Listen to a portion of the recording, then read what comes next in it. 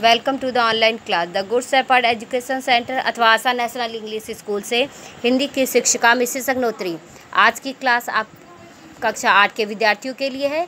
आज हम पार्ट तीन और पार्ट चार से संबंधित वन वर्ड क्वेश्चन देखेंगे। आपका पार्ट तीन है मन के साहसी। आइए, अब हम पार्ट तीन से संबंधित वन वर्ड क्वेश्चन देखें। सर्वप्रथम आप अपनी कॉपी पे पार्ट तीन डालिए। पाठ का नाम है मन के साहसी। आपका पहला प्रश्न है, जॉनसन कैसा बालक था? जॉनसन ने कौन सी दुनिया से दोस्ती की थी? आपका तीसरा प्रश्न है, जॉनसन कहाँ का निवासी था? आपका चौथा प्रश्न है, जॉनसन का जन्म कहाँ हुआ था? आपका पांचवा प्रश्न है, जॉनसन जन्म से ही क्या थे? आपका अगला प्रश्न है, जॉनसन की माता का क्या नाम था? अगला प्रश्न है, पिता के देहांत के समय जॉनसन की क्या उम्र थी? आपका सातवां, आपका आठवां प्रश्न है। बांसुरी बजाने की शिक्षा उन्होंने किससे प्राप्त की थी? आपका नवा प्रश्न है। जॉनसन को किसने, किनके हाथों बालश्री सम्मान प्राप्त हुआ? अंतिम प्रश्न है, जॉनसन को पुरस्कार कब और कहाँ मिला?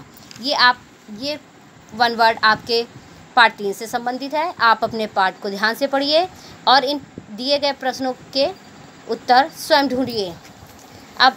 आपके पार्ट चार से संबंधित वन वर्ड कराए जाएँगे।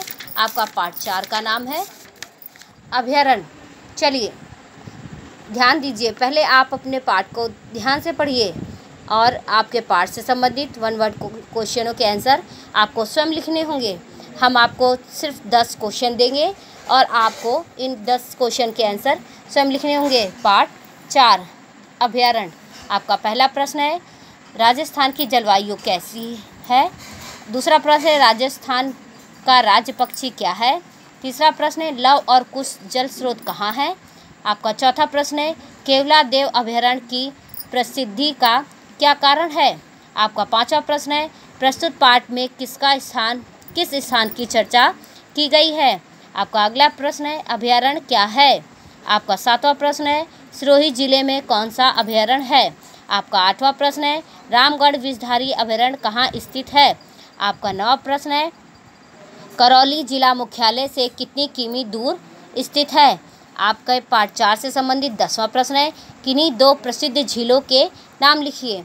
ये आपके पार्ट चार से संबंधित वन वर्ड क्वेश्चन है। आज की क्लास यहीं पर समाप्त होती है। धन्यवाद।